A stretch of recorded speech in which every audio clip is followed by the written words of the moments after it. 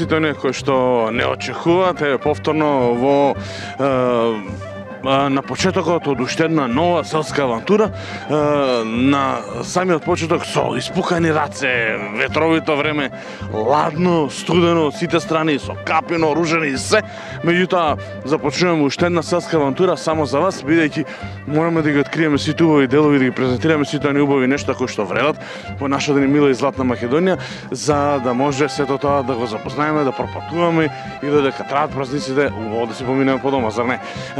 Наша денесна дестинација, денешна дестинација е село кое што се наоѓа на 26 км од главниот град Скопје, кое што е сместено во падините на една клисура, кое што има околу 150 до 180 жители, се наоѓа од десната страна на реката Вардар, е село од збиен тип, има цело, цело време од функционирањето, од постојањето на селото, па до ден денес, цело време има 34 домаќинства, односно 34 куќи, сега има и викенд на горе, кај што почнаа да живеат други и така натаму и така натаму. Меѓутоа ме знаете, мене јас имам безбедено луѓе за се да ви кажат. Е, битното што е? Е, се прашувате кој е селото, каде е на 26 км, во кој правец, од која страна? Е па кога патувате од Скопје кон Велес, од десната страна, веднаш после Илине, веднаш после Драчево, веднаш после Зеленикова се наоѓа селото Таор ако речеме дека реката Варда поминува покрај селото, од таа страна на сел, од таа страна, од, од, од, од левата страна на реката Вардар се наоѓа селото Орешене, од десната страна е селото Таор. Се наоѓа во падините на Таурската клисура и најинтересната работа која што сакам да споменам во најавата, а која што за која што ни помогне нели мојот паметен телефон, е дека е, селото Тауро е доста стара населба, познати спомнуване и во античкиот период и во средновековниот период. Во антиката местото се викало Тауресиум, тоа беше битно што не сакав да гутнам, и кога, кога било дел од римската провинција Илирик, и што е битно и важно, зашто го споменам моа?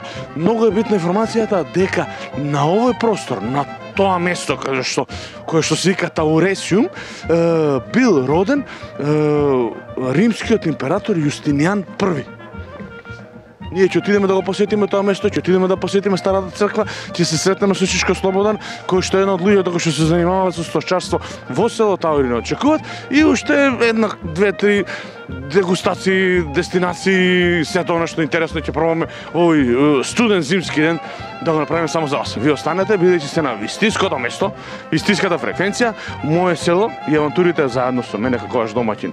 Се разбира и авантурист само што започна.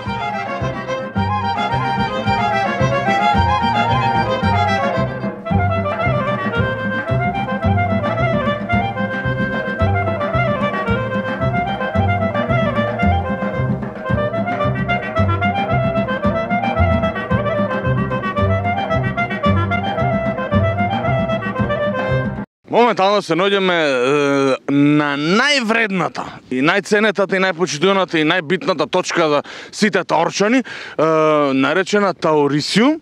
А зашто е тоа токму така?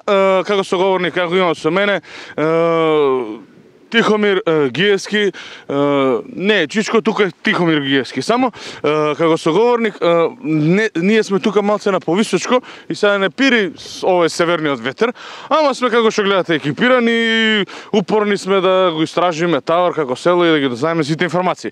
Е, Тихомир, кажи ми е, вака сега.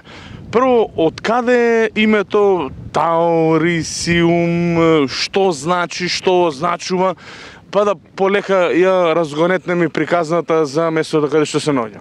Па спрема кажувањата, спрема кажувањата од постари луѓе, а, овде е роден Јустинијан први и спрема тие а, нивни имиња римски, а, кажано е името Таоресиум.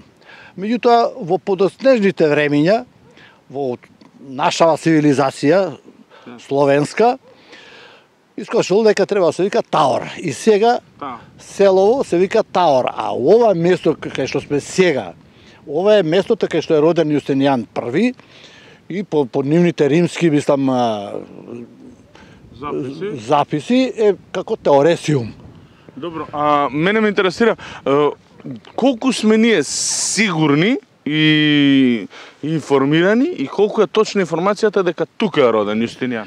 а, Да не е случајно родена негова некоја братучетка, брат, братучет, па ние сега сме рекле Јустинијан или информацијата е точна. Кој се има проверувано и од каде има докажано? а, мислам дека дека е, добар дел е точно. Он може да е роден по некои записи во Бадар, Бадарјана, ама некој негов вујко го има по синето и го донел тука. Так. Токму на ова место, ова се предпоставува дека е дворец, царски двор, Има мал дел откриено, пошто царските дворци биле предпоставам многу поголеми во обем, така да има дел и работи што не се откриени. Така е, така е, меѓутоа еден добар дел е откриен и се гледа дека е та, токму такво нешто, мислам, ова Ова позадина се ходниче. Да. Ходниче кај што се движеле вратичка таму, кај што се бањале. па тука тука некаде имаше а, еден чуп, вада се претпоставува дека е за чување на брашно, на така. И така да по по добри претпоставки можно е е, не можно да го сигурни дека тука живела. Се е, кажуваат претпоставуваат дека е роден во Бадар, ама некој негов вујко го има донесено тука. И тука го стекнало на основно образование, сите основни информации така што е. треба да ги добие за да после стане голем император. Така, го да, и станал, и станал император и сите го, го знаеме како Јустинијан први. Место му е добро одбрано во тоа време, да речеме, кога немало патишта, немало и пругата не била праена пати Овој делот пред нас што гледаме, Котнината, било односно долината било или мочуриште или некакво Не езеро. било приодно, не било приодно. Едини пат што бил за према Котланово и он можел да го надгледува а, својот спокој, свој можел да го обезбеди својот мир од непријатели затоа што од оде можел да види на подалеку. Ако му доаѓа некој непријателска, да речеме, војска или не знам... Некој сака да го нападне, да, да му направи нападнат, штета. Можел, можел да го види од овде. Ако бил некаде во некоја длабнатина доле во, во ниското, не може да види. А од одека можел да... Што би рекле сега геостратешка точка, Така правилно избрана, за да може ако некој сака да ти дојде, па ако ќе одиш кој има влие паметна, Од овде, да го вратамо намо на. од овде со камења можел да се отброни. Нормално тука. може така. Со каменот се повисоко кој ќе те зад, боли појќе. Така. Така.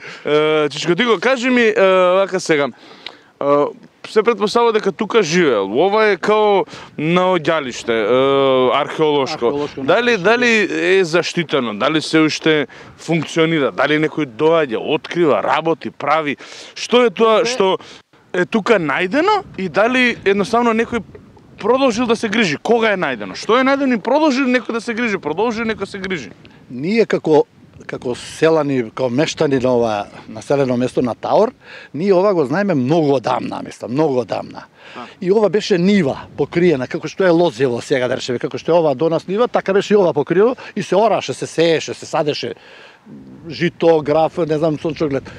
Меѓутоа, некаде пред едно има едно 15 години се заинтересира државата најверојатно, овие институциите што се Така. надлежни за изнаоѓање на археолошки скопини, дојдоа, тоа ми се чини дека музеот на град Скопје, дојде и го го обезбеди ова место и почна да го обработува, да го да го открива.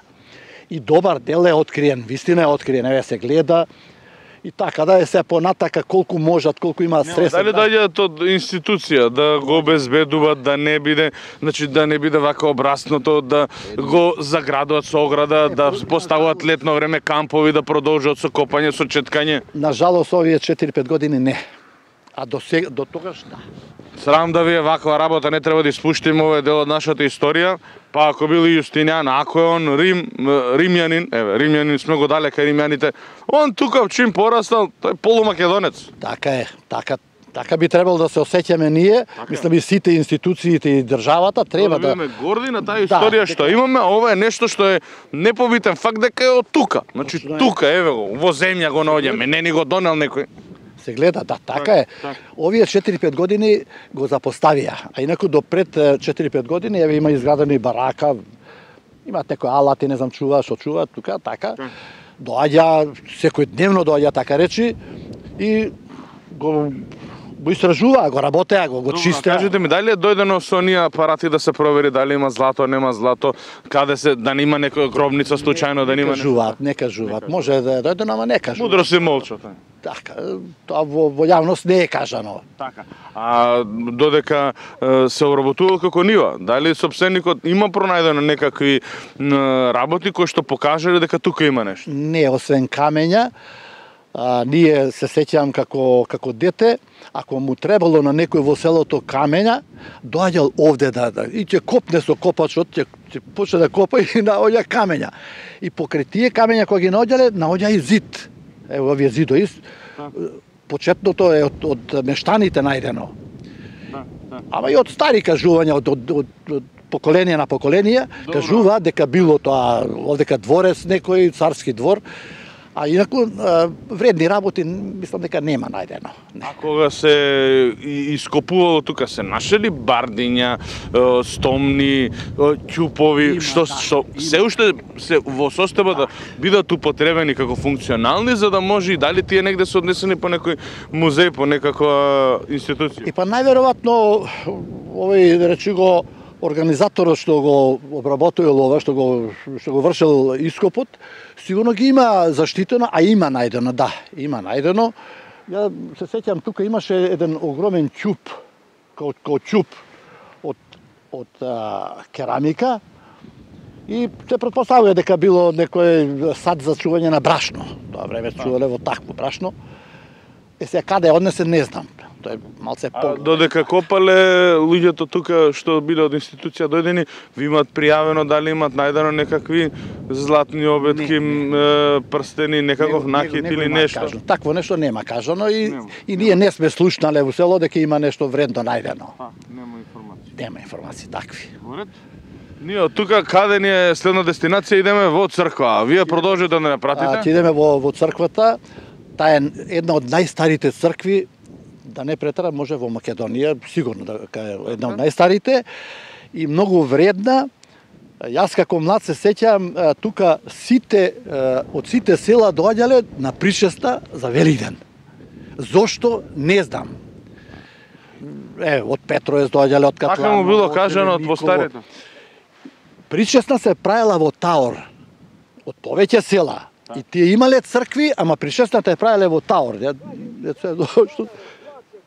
Од, од целава околие овдека, мислам, наша околие, барем, да не претерам Зеленико општина, ама од Катланово, од Кожле, од, од Блаце, од Бадар, сите доаѓале тука во оваа црква. Ќе отидеме ли ние да видиме црквичката каде? Ќе видиме. И после тоа да е, видиме и со а, има објект, има место кај што може да влеземе, запалиме свекичка све или е на отворено. А, ја не знам дали е отворена, ако е отворена ќе може, ако не ќе ја видиме на дворешно, да.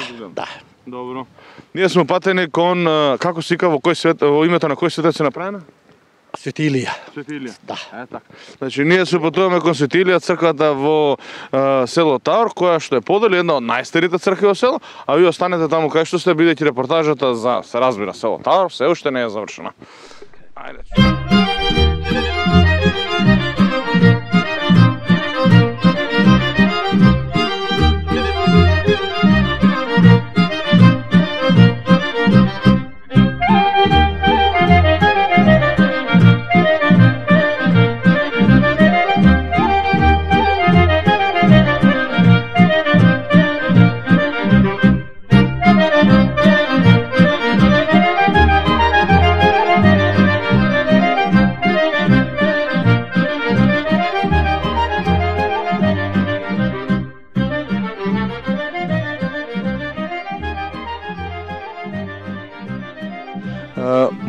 Се наоѓаме во дворното место или она што е преддворието на црквата Свети Илија во село Таур и сме тука заедно како што ви рековме со Тихомир Гиевски, мој соговорник кај Тауриус, Таурисиус. Не, знаете дека сум испокара со тај имињата, иако ми замерувате, значи стварно Ја не би ви се наљутил, јас сам на себе не би си се наљутил. Е, Тихомир, кажи ми сега, се предпоставува кога се доаѓавме на Амус, разговараме се, ми кажеш дека не се знае точно од кога постои црквата. Меѓутоа, мора да се има некаква временска рамка. Постојала, постојала, зашто првите записи што прочитав за селото се 212 година. Е, предходно Јустинијан 483 до 565 пред наша ера, е, тоа значи дека црквата е за време на Јустинијан, подоцна, како се вашите сознанија?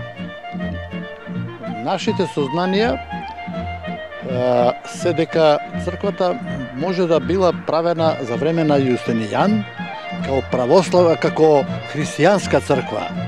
Меѓутоа со доаѓањето на на православието, мислам со поделбата на православието помеѓу католицизмот, и премината е во православна затоа што населбата, населението во, во Тауре е православно.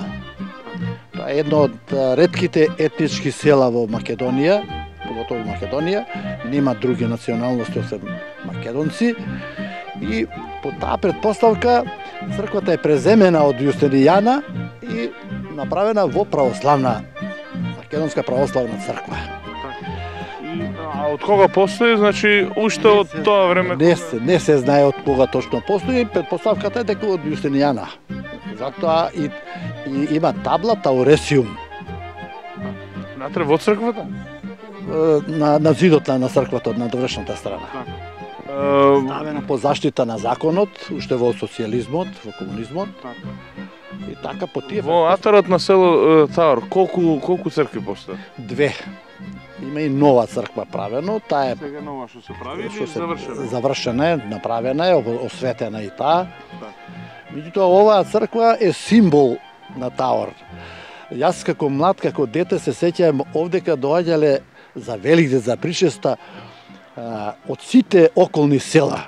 Да не збориме од Зеленковска општина, меѓутоа и од, од Катланово, од Бадар, од Блаце, од Петровец, тука доаѓале на, на пришесна. Зашто е зашто било тоа така, не знам, сигурно имало имало некое значење за затоа што доаѓале.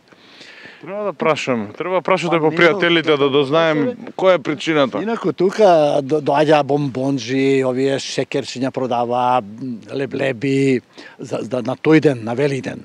Околу причестата. А кажете ми вака сега, доаѓа поп за Великден, се причестува, значи функционира како црква со сите нишани се одржува литургија.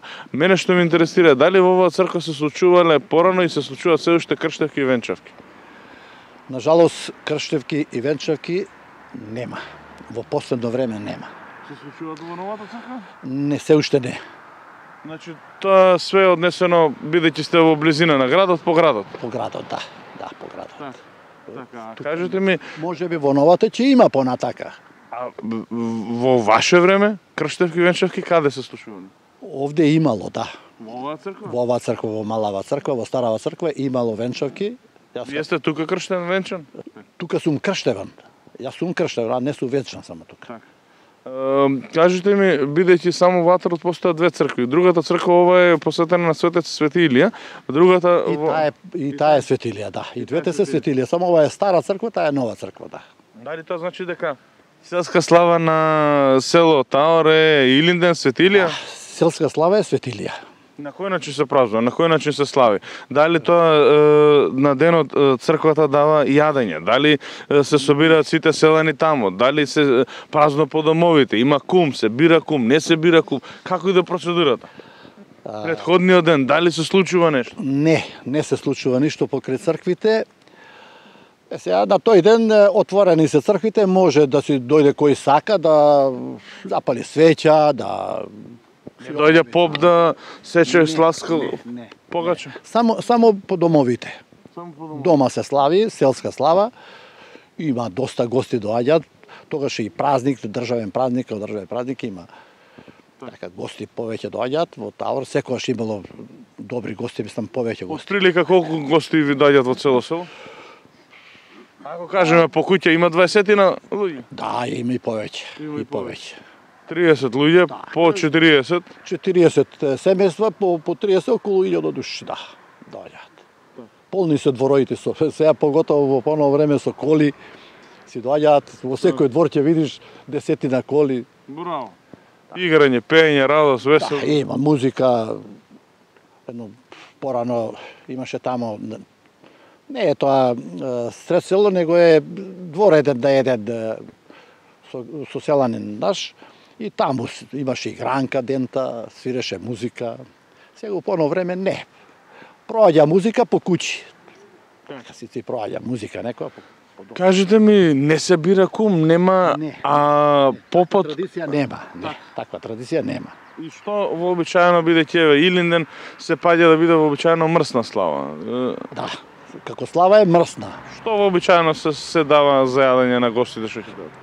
Јагнешко, Јагнешко. јагнешко. Мора да биде на ражен вртено или може вака и у тавче да биде и у фурна? Во, во постаро време, во, во подмакли години, секојаш било манча. Манџа. Јанија. Да, јанија, или со грави, или со компир, така јанија.